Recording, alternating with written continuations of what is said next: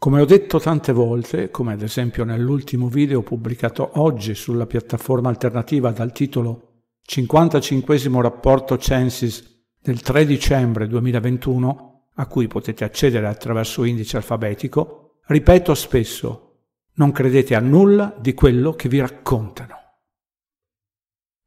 Hey folks, make a brief opening statement here.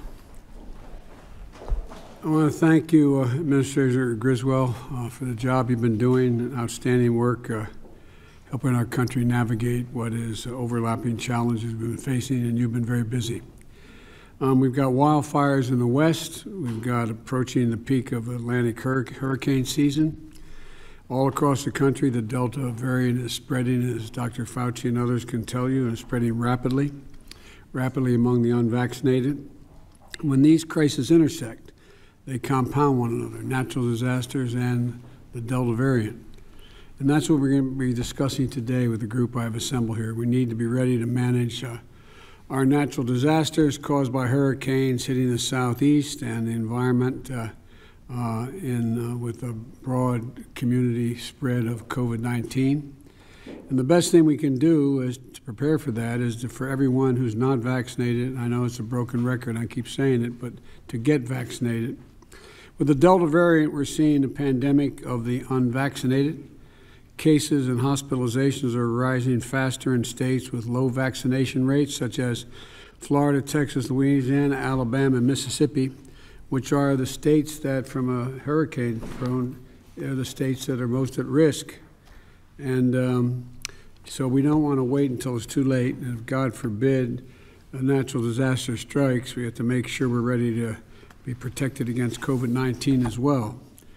Let me be clear if you're in a state where hurricanes often strike, like Florida or the Gulf Coast or into Texas, a vital part of preparing for hurricane season is to get vaccinated now.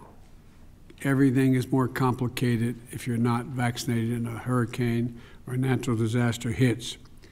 If you wind up having to evacuate, if you wind up having to stay in a shelter, you don't want to add COVID 19 to the list of dangers that you're going to be confronting.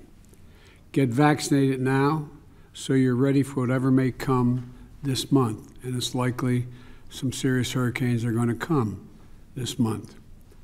So go uh, to uh, ready.gov to make sure uh, you're prepared with the hurricane with a hurricane plan. Know your evacuation zones. Have a plan with your family.